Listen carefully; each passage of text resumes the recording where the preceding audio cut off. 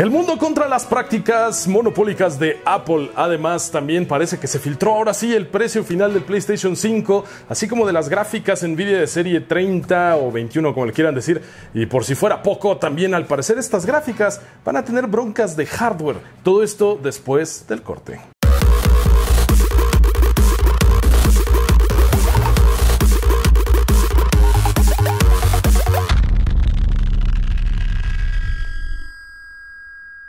Adictos digitales, bienvenidos de nuevo. Estas son las tech noticias de esta semana. Y bueno, pues les doy la bienvenida a las notas que están bien selectas el día de hoy. Empezamos con la nota random, que esta vez es de entretenimiento. Si ustedes se acuerdan, en YouTube Red, ahora YouTube Premium, había producciones originales como por ejemplo Cobra Kai. Cobra Kai, esta serie que está pues basada en el universo del Karate Kid que la verdad a muchos que vimos tanto las películas originales como la serie nos encantó. Bueno, pues nos dejaron por ahí volando cuando dejaron de hacer producciones originales en YouTube Premium y pues nos dejaron con una sed así fuerte de una tercera temporada de Cobra Kai, que es esta serie maravillosa que bueno, pues nos, nos encantó a todos los fans. ¿Qué pasó de aquí? Bueno, pues ahora Netflix llega al rescate para poner estas series para todos los que ya están arriba del barco de Netflix disponibles a partir del 28 de agosto para que ustedes puedan ver las dos primeras temporadas de Cobra Kai. Pero para 2021 viene la tercera temporada y con esto, en lo que les estoy mostrando de esta, bueno, de esta nota de Martín Pixel de Shataka, es que aquí está ya el tráiler de la tercera temporada de Cobra Kai para que si ustedes estaban siguiendo la serie, pues ya tengan que esperarse a ver o si no la han visto porque era pues, de YouTube Red, ahora sí la puedan ver desde Netflix. Pero bueno, les dejo un enlace en la nota en la parte de abajo, así como ustedes ya debieron ver las imágenes y si no, pues también vayan a ver el tráiler que están esperando. ¿Y qué creen? El día de ayer, 24 de agosto, se cumplen 25 años de lanzamiento de Microsoft Windows 95. Este sistema operativo que ya es totalmente veterano, que supuso un cambio enorme en la forma de trabajar con ventanas en todas aquellas computadoras que trataban de imitar las Macintosh de esa época. Entonces, con esto se consolida totalmente Microsoft como el operativo, bueno, Windows como el operativo más usado y además de que trae nuevas cosas, funcionalidades como el famoso plug and play que ahora es tan pues normal de que tú pones algo por USB, funciona. Digo, antes no era tanto así, sino que había que instalar primero drivers, después revisar si funcionaba, habilitarlos incluso por IRQ. Era un relajo la computación antes de lo que hacemos hoy en día, que es sumamente sencillo, la verdad.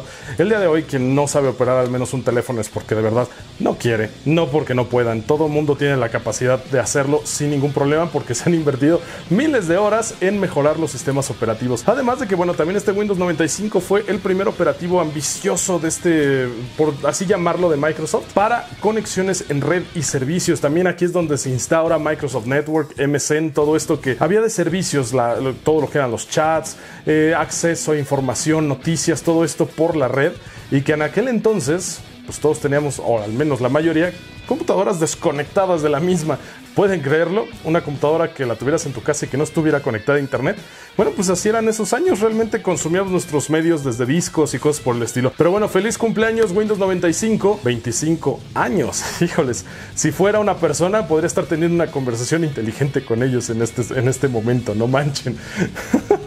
Pero bueno, les dejo el enlace a la nota en la parte de abajo y continuamos con lo que sigue.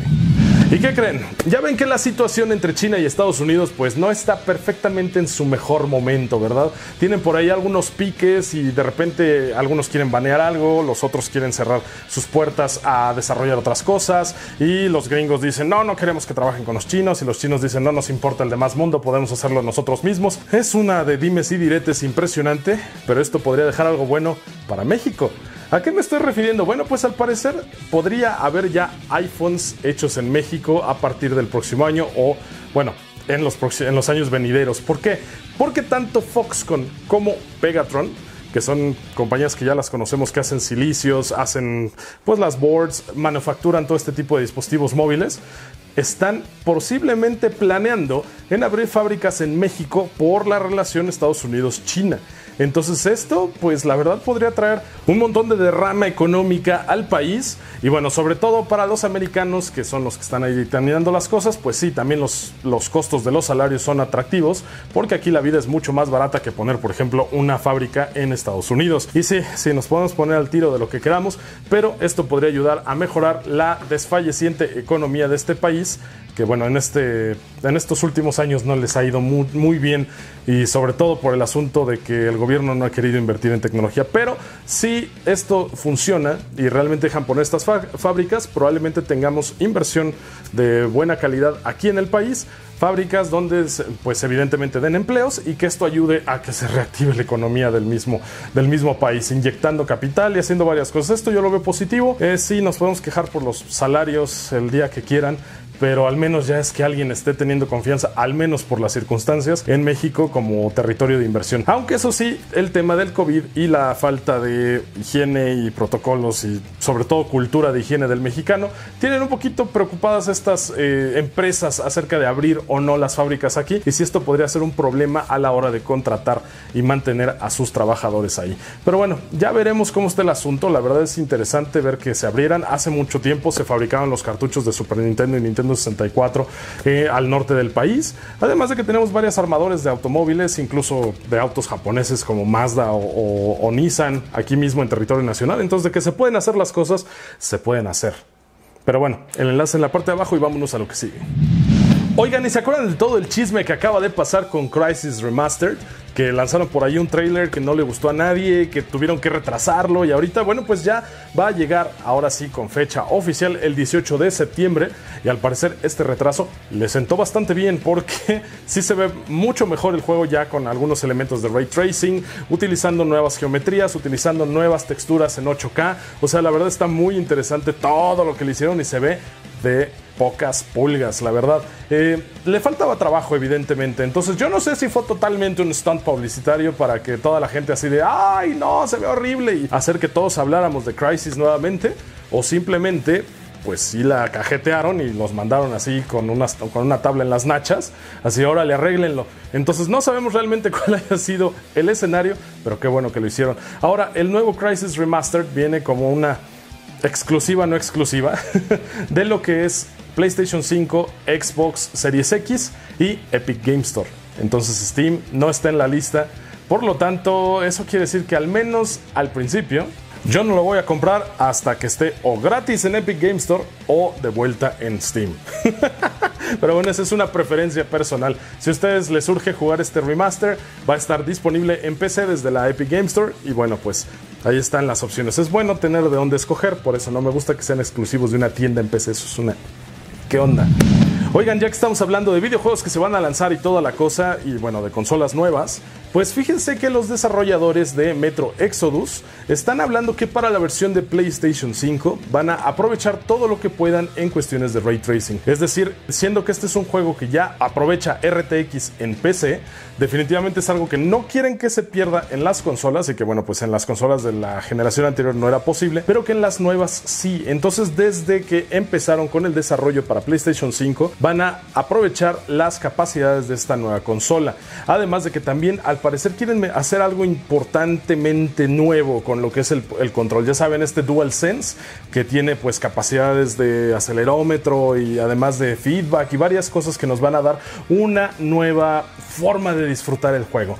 Dice, probablemente lo, que, lo primero que le ocurra a Metro será tener esa retroalimentación táctil de utilizar un, un rifle y cómo se siente justamente al gatillo y, el recoil, ese tipo de cosas. Entonces ya veremos si lo logran porque son detalles interesantes que se supone que trae este nuevo control. Entonces, esto lo dijeron en una entrevista de la revista oficial de PlayStation, entonces obviamente van a darle halagos a todo esto, entonces falta ver con un granito de sal cómo le salen las cosas al final, pero al parecer todo pinta de manera positiva, llamémoslo de esta forma. Pero vámonos a la siguiente nota, les dejo el enlace abajo y a lo que sigue.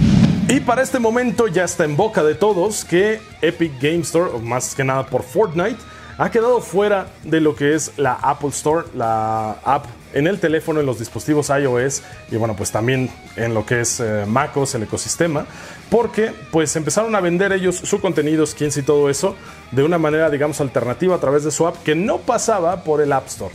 Y esto pues obviamente no le gustó a Apple porque por algo son la empresa pues que ha generado más millones de dólares en los últimos años y por eso son la empresa más valuada de todo, porque se llevan una tajada del 30% de lo que sea que se haga de transacciones en su tienda o aplicaciones vendidas en su tienda. Y en general no pasa nada ni tiene nada de malo porque pues las reglas son reglas y si esa es la tienda de Apple y para estar en la tienda de Apple tienes que pagar eso y no hay de otra, pues no hay de otra. El problema es que al parecer sí hay de otra porque tienen otro acuerdo con Amazon Prime que pagan únicamente el 15% y esto pues ya no les está gustando a otros desarrolladores que están metiendo cosas directamente.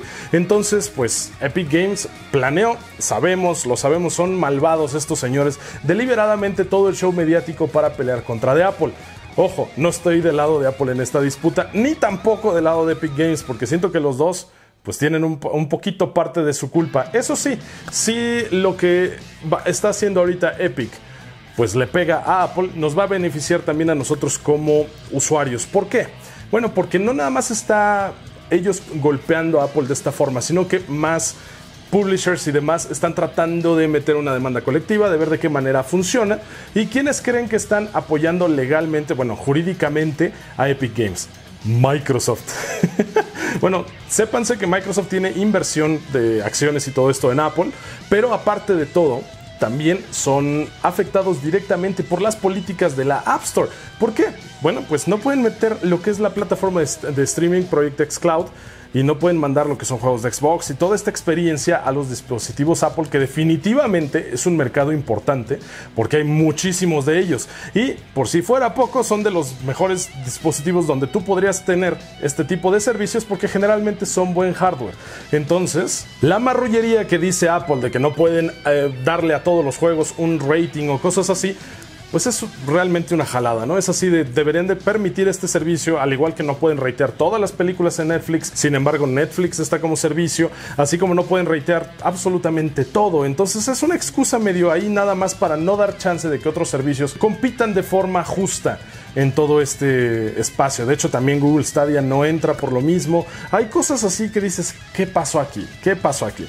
Pero bueno, veamos eh, de qué manera se resuelve, porque pues esto de que Microsoft esté apoyando a Epic Games, sobre todo porque hubo ahí un bloqueo por el, de lo que es el Unreal Engine. Recuerden que Apple se puso todo folclórico y dijo, no, no, no, no vamos a permitir ni siquiera que las cosas que usan eh, Unreal Engine estén aquí, a menos que aporten y que no sé qué. Pues, ¿cómo te deja a ti como desarrollador en la industria? Pues es uno de los motores principales para utilizar. Entonces, la verdad, esa fue una movida muy, muy de patán de Apple. Y bueno, pues ahorita se le están yendo al cuello y pues ni modo, lo tienen merecido porque se les puso ahí al tú por tú, sobre todo por la flexibilidad que tuvo con Amazon Prime, que no debió haber sido. Ah, cómo se nota que luego se hacen paros entre ricachones, ¿va? Pero bueno, vámonos a la siguiente nota que también tiene que ver con esto. Apple sigue siendo voraz en estos momentos donde le empiezan a llover y creo que no es la forma más propia de hacerlo mediáticamente hablando. Ahora, ¿qué pasó? Bueno, también vetaron la, la aplicación de WordPress por tener tienda, pero lo más interesante es que están diciéndole a la gente de WordPress que tienen que cobrar por las cosas que están pasando ahí. Y lo interesante o más bien lo decepcionante, es que todo lo que está en la tienda de WordPress entra bajo licencia GPL de dominio público general. Entonces no cuesta, es así abierta, son licencias abiertas. Y al momento de ellos querer cobrar o lo que sea, obligarlos a querer cobrar, están incumpliendo la licencia GPL, entrando en otro problema legal.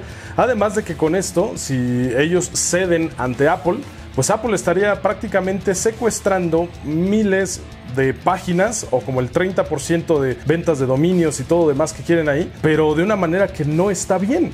Entonces, ¿qué onda? ¿Cómo va esta disputa? Por eso no se han actualizado las aplicaciones de WordPress en dispositivos iOS, simplemente porque no pueden y no quieren ceder ante esta marrullería también de Apple. Entonces, ahora sí se la están ganando los muchachos de Cupertino haciendo este tipo de malabares que son dignos de cualquier fan político sin mucha, sin mucha experiencia en lo mismo. Entonces, ¿qué pasó Apple? Sabemos que les gusta el dinero, pero tampoco manchen. Ay. Y como dice en el mismo artículo, dice, para ser claro, la aplicación no vende nada. ¿Y por qué lo haría? Es un proyecto de código abierto. Apple está requiriendo la adición de una funcionalidad que no tiene razón plausible para existir. Entonces, híjoles, híjoles, híjoles. Bueno, vámonos a lo que sigue antes de que me siga enojando. O quizás me vaya a enojar todavía más. Pues ahora sí, demanda colectiva de usuarios contra de Apple acerca del FlexGate de sus MacBook Pro. ¿Qué está pasando aquí? Bueno, pues sabemos que el modelo que salió del 2015 al 2018 son modelos de laptops de Apple que venían plagadas de problemas. Se enamoraron tanto de la idea de hacerlas lo más delgaditas, lo más eh, así slim que se pudieran, eliminando todo lo que pudieran a su paso para volverlas lo más minimalista que se viera, pero se les olvidó importantemente que alguien iba a usar esos aparatos para algo más que verlos. Entonces, ¿Qué pasó aquí? Por todos esos sacrificios que no fueron para nada de costo, pues acabamos con productos que no tenían buena calidad en ciertas cosas. Por ejemplo, los teclados Borderfly que todo el mundo detesta, que tienen un montón de problemas, una tasa de, reclamos bastante alta. Y por si esto fuera poco, lo del FlexGate que les estoy diciendo es también el asunto de un cable Ribbon que le da la, la alimentación a la retroiluminación del panel. Entonces, si tienes una de estas Mac y la abres, nunca la abras a más de 90 grados, porque si la abres más, lo puedes echar a perder. Este cable se empieza a romper si tú abres de más tu, MacBook. Y bueno, pues sabemos que es una práctica común, hasta para aquellos que la utilizan en la cama, la abres más y te queda así hasta para ponértela aquí arriba de la panza, ¿no? Entonces, pues este FlexGate es un problema que Apple ya estaba consciente de ellos y se hicieron totalmente patos. Hasta que a principios del año pasado la gente empezó a hacerla mucho, mucho de escándalo y tuvieron que decir que sí, que lo trajeran. Y es una reparación que en Apple, al no ellos eh, decir que fue un problema directamente de fabricación, le estaba costando a la gente entre 600 y 700 dólares repararlo. Incluso hay servicios de reparación extra que lo hacían por una cantidad menor y tenían que reparar ellos el cable. Y lo más sencillo es que es una pieza que yo creo que no, cuesta más de unos 5 o 10 dólares fabricar. Y pues también cambiarla a la mano de obra no es tan cara. Entonces simplemente el que ellos hubieran cambiado esto de su línea de producción, incluso tirando a la basura a los que estaban ahí, no hubiera sido un costo importante. Pero el problema aquí viene que Apple no se quiso ser responsable por mucho tiempo y por eso la gente está demandando por este problema que hubo. Entonces, híjoles, ojalá se haga justicia. Bueno, vamos a sacudirnos esas malas noticias de la manzana y vámonos por algún tema que sí nos interese también. Eh, del lado del PlayStation 5, al parecer se filtraron ya las posibles fechas de lanzamiento y precios. La fecha de lanzamiento para Japón será el 14 de noviembre de este año, mientras que para pues América, contando Estados Unidos y Canadá y permeándose a Latinoamérica, el 20 de noviembre justamente un día después de que yo cumplo como 17 años de casi haberme quedado sin una pierna en un accidente. Pero bueno, esos son datos irrelevantes. ¿Y qué más les puedo decir? El precio, ¿verdad? Bueno, pues al parecer ya saben ustedes que vienen dos versiones de la consola, una con el lector de Blu-ray y una sin el lector de Blu-ray. Entonces estamos esperando un precio de 399 dólares para la versión sin lector de Blu-ray y de 499 dólares o por ahí andan más o menos los precios, para la consola con el lector de Blu-ray. Que bueno, pues yo creo que la de descargas digitales se va a empezar a popularizar bastante a menos que tú seas coleccionista de videojuegos. Porque en realidad tú qué compras con un juego? Compras la primera versión y cada semana hay parches nuevos y al cabo de un mes pues prácticamente ya no estás leyendo nada de la instalación del disco, nada más es ahí como que un eh, pues anti-piracy device, ¿no? Podríamos llamarlo. También por aquí viene en esta tabla los precios de los posibles accesorios que van a venir con la consola o aparte de la consola. Por ejemplo, el DualSense Controller, el control va a costar unos 60 dólares, eh, la estación de carga unos 30 dólares más o menos, la cámara HD otros 60 dólares, el control remoto para PlayStation 5 30 dólares y bueno, pues el vertical stand, las patitas para tenerlo así paradito. Estamos hablando de comida, ¿verdad? Yo no. ¡Qué bien! Yo tampoco. Es de sexo, ¿no? Sí. Ay, ahora ya entendí. Otros 25 dólares. Nada baratos todos los accesorios. Sobre todo porque pues si quieres la experiencia completa a lo mejor vas a acabar comprando varios de ellos. Entonces vayan ahorrando porque se viene una fecha de, de fiestas con demasiadas cosas para comprar. Entonces vámonos a la siguiente nota, les dejo el enlace a esta en la parte de abajo. Y bueno, ¿se acuerdan que yo siempre los regaño cuando me preguntan acerca de overclocking en una placa A320 o ahora con las nuevas A520 que, ay, se va a poder hacer overclocking, que no sé qué? Bueno, en general, las únicas personas que tienen permiso de hacer overclocking en este tipo de motherboards pues son la gente que no anda preguntando jaladas. ¿Por qué? Porque tienen el conocimiento justo para hacerlo. Y el asunto es que si tú tienes que preguntar algo, generalmente es porque no puedes hacerlo. A menos que pues te pongas a buscar y lo hagas por ti mismo y no andes preguntando tonterías. Entonces, ¿qué onda? ¿Qué pasó aquí? Alguien fue lo suficientemente atrevido como para lograr un overclocking de Ryzen en placas A520, las cuales al parecer vienen bloqueadas para overclocking, pero de todas maneras encontraron un método. Y digo, ni siquiera son placas de ASRock que son famosas porque de repente nos dejan hacer overclock en lugares donde no se deberían. Esta es una placa de Gigabyte la que les dio chance de hacerlo. Y bueno, pues lo documentaron en el canal YouTube, de YouTube, Actually Hardware Overclocking. Y bueno, demostraron que es posible hacerlo con un Ryzen 3000, aunque es una placa base con chipset B550 y todo esto se hace con una placa interesante porque es un overclock directo de lo que son las frecuencias base del reloj del CPU. Entonces, ¿qué onda? ¿Cómo está esto? Por ahí está el, el, video completo de cómo lo logran y no se sabe hasta el momento si solamente se pueda en estas placas de Gigabyte. De hecho, también lo hicieron con el BIOS F1 que venía con la motherboard, el cual pues pudo haber sido el único que tenía este soporte ahí, digamos, escondido, porque la versión F2, que ya salió también, podría haber removido esta capacidad. Entonces, si ustedes quieren intentarlo, bueno, pues pruébenlo. Tampoco les voy a decir que no, porque pues cada quien rompe su hardware como quiere. Alguien, algunos los tiran desde el azoteo de un edificio, otros se les cae a la mitad de reforma una motherboard y alguien más puede hacer alguna especie de eh, modificación o alteración, ya sea por software, hardware, lo que sea, a sus cosas. Entonces ustedes denle si lo quieren hacer, pero también sean sensatos de que, por ejemplo, esto es un experimento simplemente para ver que se puede. No lo tomen como una Biblia de que, ay, voy a comprar la motherboard más barata y eso me va a dar el mejor overclock del mundo. No, sean sensatos, por favor. Vámonos a lo que sigue. Les dejo el enlace en la parte de abajo. Y bueno, pues si ustedes son aventureros, adelante con sus aventuras.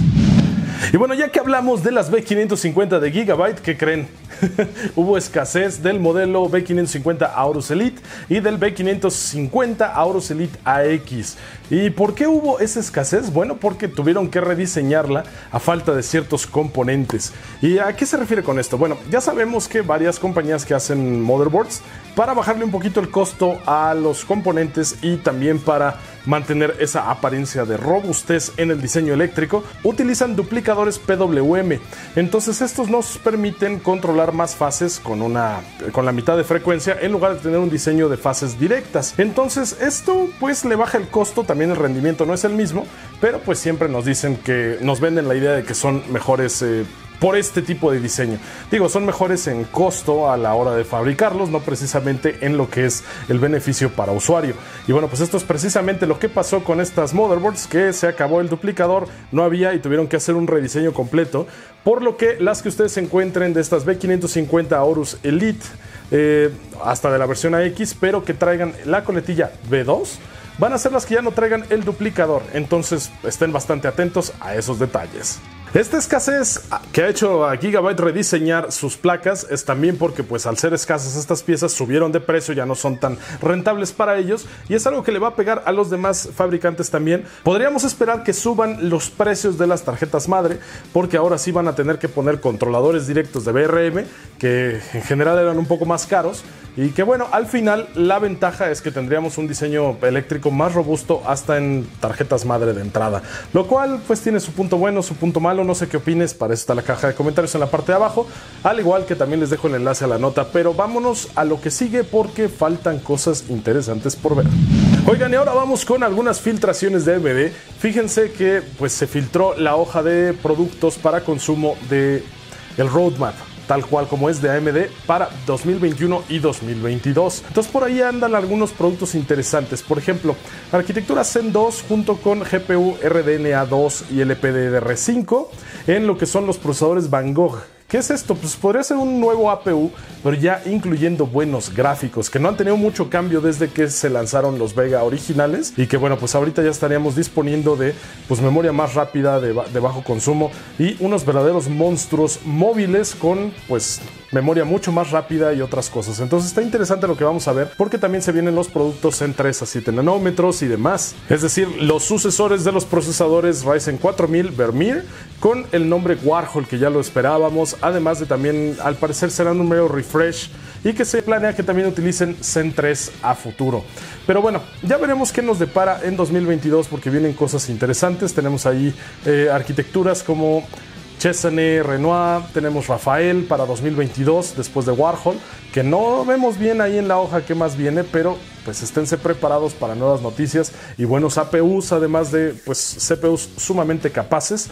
Y bueno, pues habrá que esperar también a ver la respuesta del Team Blue con los productos que se vienen para estos años, porque esta guerra parece que va a ponerse muy bien, sobre todo si tenemos en cuenta que China también está desarrollando ya sus propios chips para no depender de las cosas de afuera y que planean llegar este año al 30% de autonomía en fabricación de chips, pero el año que entra o los próximos años planean llegar al menos al 70% de, de autonomía de fabricación de chips. Pónganse atentos, va a ponerse muy bien. Y ahora sí nos arrancamos con las noticias de Nvidia y abrimos con lo que está diciendo el CEO de la misma compañía, Jensen Huang. ¿Y qué nos está diciendo este muchacho? Con su chaqueta de piel y todo el estilo como siempre. Bueno, promete que tendremos la segunda mitad de año más asombrosa para la, historia de los gamers que ha habido en los últimos tiempos. Entonces, bueno, esto es algo que ya nos querían vender de idea desde que lanzaron RTX y mientras no entiendes el concepto de RTX, pues no te pareció tan impresionante, tú nada más estás ahí de amargado de que son tarjetas caras y que va a ser una moda y no podrías estar más alejado de la verdad, pero bueno, por algo se empieza. ¿Qué onda? ¿Qué pasó con el anuncio de Jensen Huang?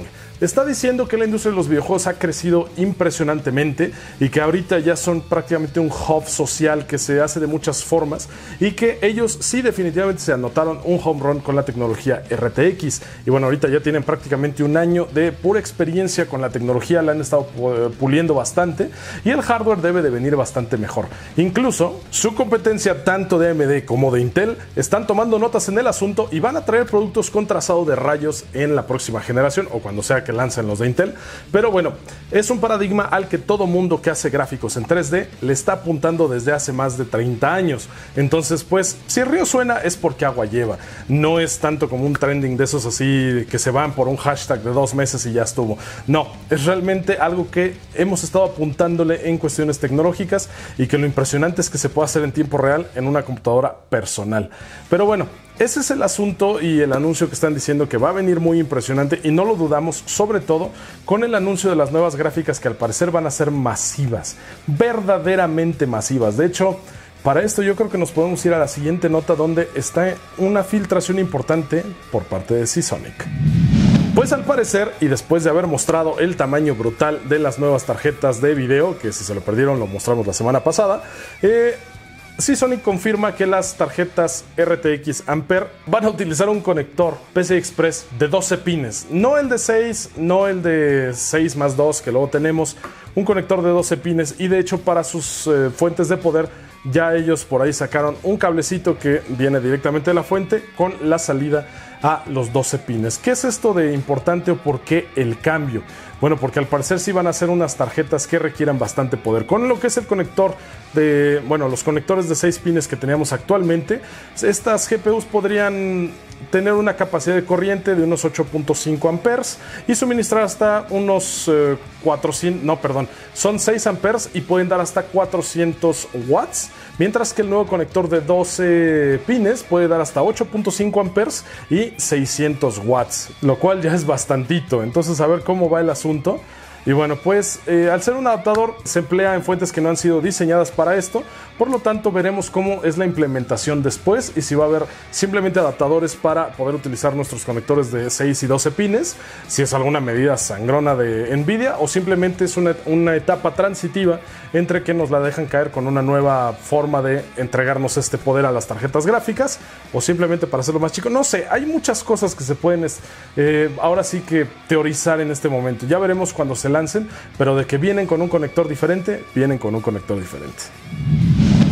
Y ahora sí, después de que le cayó calabaza al pañal la semana pasada porque estábamos escatimando el costo de una 3090 en unos 2 mil dólares, bueno, un nuevo rumor nos dice, para que todo el mundo le jale de regreso al pañal, el hecho de que la 3090 al parecer solamente va a costar 1.400 dólares, mientras que la 3080 va a costar 800 dólares. El precio sugerido también, o al menos de esta filtración para la 3070 de 600 dólares y la 3060 en 400 dólares, lo cual las podrían poner en una escala muy competitiva de precios porque pues ya no están estúpidamente caras. Y veremos cómo viene porque pues ya sabemos que son unas tortotas de tarjetas gráficas y a ver también cómo nos va con los enfriadores de terceros, porque al parecer la Founders Edition va a ser una cosa de tres slots con este enfriador masivo y no sabemos realmente cómo nos vaya a ir si, si siquiera estos precios son reales porque los otros tampoco se veían tan desfachatados cuando tomamos en cuenta todo el rediseño del enfriador y la ingeniería que debe de haber ahí detrás. Pero bueno, también no esperen que estos precios se traduzcan literalmente así en Latinoamérica, porque sabemos que siempre hay sobrecosto por revendedores, por aduanas, por miles de tonterías. Y bueno, pues igual el caso para Europa, donde acaban siendo un poco más caras. ¿Tú qué opinas? Déjame tu comentario en la parte de abajo. Y bueno, pues también les dejo ahí el enlace a la nota original por si ustedes quieren ver detalles, las fotos y demás que no hayan alcanzado a ver aquí en el, bueno, en lo que les estamos diciendo. Pero bueno, vámonos a la siguiente nota, por favor. Así, la nota fatalista de Nvidia. Bueno, pues empecemos con números. Al parecer, el nuevo enfriador que van a traer las tarjetas Founders Edition de Nvidia, eh, por la forma tan inusual que tiene, va a andar costando solamente el enfriador entre 150 a 155 dólares, lo cual es bastantito si me lo preguntan a mí, solamente para el enfriador que va a ir en estas tarjetas que aparte se van a hacer por volumen. Pero bueno, eso es lo que dice el rumor. Ahora, el problema con este diseño, que también plantea que las armadoras como Asus, Gigabyte, Aorus, MSI, todos ellos van a tener problemas al diseñar sus, eh, sus, nuevas tarjetas por la forma en la que está el diseño completo de estas tarjetas Ampere. Al parecer, el problema viene con la GDDR6X y la forma en la que están puestas. Eh, todo el diseño eléctrico al parecer está muy cerca y van a ser muy calientes. Digo, ya nos lo esperábamos con el tamaño del enfriador que viene, que tienen los dos fans encontrados, que viene con una forma muy extraña de hacer las cosas y que al parecer esto implica que la memoria necesitará el mismo tipo de refrigeración que otros componentes bastante más calientes dentro de la, de la, misma placa, lo cual podría llevar a que si algo sale no tan exageradamente bien en este diseño, tengamos problemas de enfriamiento de memoria RAM bueno, VRAM en estas tarjetas de video y que si ya nos ha pasado incluso con memorias que no eran tan calientes como por ejemplo con algunos productos de EVGA hace ya bastantes años, híjoles, no me quiero preguntar qué va a pasar con estos productos. Y que de ser ciertos estos rumores probablemente, pues sí, esta generación Ampere acaben siendo los gráficos Vega de Nvidia y no me gustaría eso porque hay muchas cosas puestas ahí de promesas y estaría bastante feo que se nos vayan al caño y digo, también estaría padre que la competencia saque algo bueno y que pues de este lado, al menos Nvidia una vez no gane todo. digo, tiene muchos puntos positivos y negativos, no sé qué opinen ustedes. Pero bueno, ya nada más nos queda una nota para cerrar las Tech Noticias. Les recuerdo nuevamente la caja de comentarios abajo para cualquier detallito o cosa interesante que hayan visto o que quieran agregar. Y bueno, cerramos con la nota de autos, vamos para allá. Y vamos a cerrar con 11 productos que definitivamente no necesitas, pero que ahora los quieres. si les gustan los Funcos, pues también hay Funcos de autos o que traen el Funko y el cochecito y están muy interesantes. De hecho, esta es una nota de motor pasión y está muy coqueta. Eh, hay un Batimóvil, trae el Funko de Batman y trae justamente el Batimóvil de la película de Tim Burton. Además de que también hay uno con los Gremlins. Entonces podemos tener ahí a Gizmo y al carro eh, icónico de la película. Después, ¿qué creen? También hay uno para Tony Montana, que trae obviamente a Tony Montana y su convertible amarillo. Y no manchen, está muy interesante porque también para todos aquellos que ya crecimos en los 90 con los clásicos, está el Jeep de Jurassic Park con la doctora. Y pues, está increíble el Funko, además del carrito. No sé, me gustan.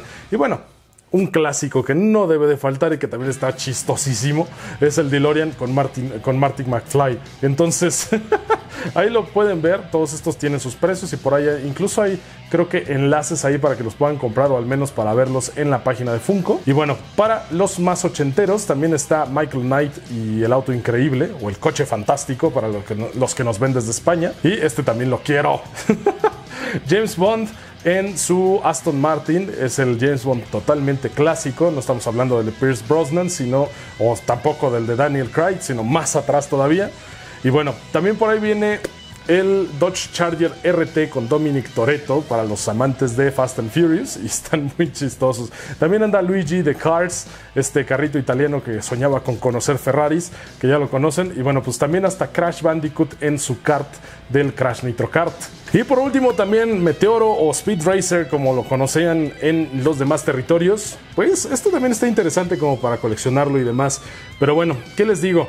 Ahí les dejo el enlace a la nota, ya vieron probablemente las imágenes si ustedes lo quieren leer para ver disponibilidad y todo lo demás. Ahí están estos juguetes increíbles que bueno, a los amantes del automovilismo y evidentemente también de la cultura pop posiblemente se les hagan bastante atractivos. Entonces ya con esto me toca cerrar y también pedirles que me regalen un like si les gustó este video, un dislike si dan a los pobrecitos gatitos bebés que no tienen la culpa de nada. Por cierto, hay funcos de gatitos. Y bueno, pues también suscríbanse al canal si todavía no lo hacen. Muchísimas gracias a todos me despido sin más. Yo soy Ed Corsa para Droga Digital y estamos en el viaje.